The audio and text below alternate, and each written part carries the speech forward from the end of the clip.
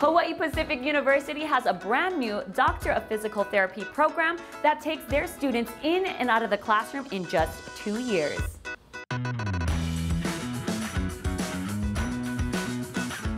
There's a demand for physical therapists here in Hawaii and across the western U.S. Hawaii Pacific University's Doctor of Physical Therapy program is the first and only physical therapy program here in the state. We're excited to welcome our first cohort this year, and our Doctor Physical Therapy program is part of the College of Health and Society here at Hawaii Pacific University, where our program will have the opportunity to collaborate with other programs here at the university, such as social work, nursing, and our public health program.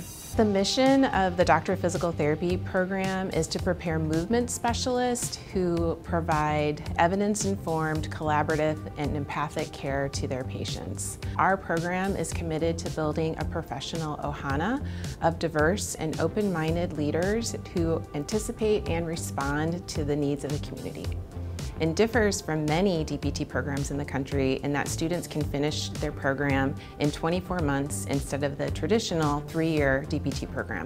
Another unique feature of our program is its hybrid model. So what this means is students can learn from home wherever they live with online education and for up to two weeks each eight-week academic term, they come to campus with our faculty for on-site hands-on labs.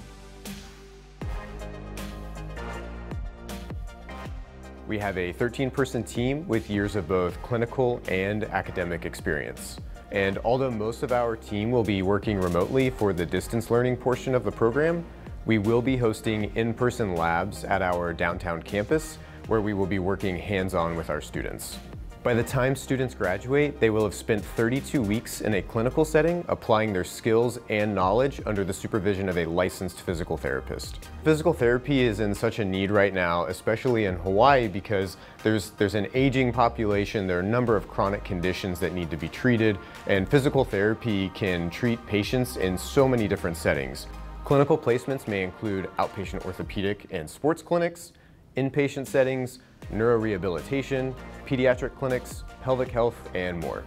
We're accepting applications for our first cohort through May 16th of this year, and instruction will start for our first group of students on July 1st. And those students will graduate in June of 2024 and will be eligible to sit for their licensure exam in July of 2024. If you would like to enroll or learn more about the physical therapy program at HPU, please head to hpu.edu. Brought to you by Hawaii Pacific University.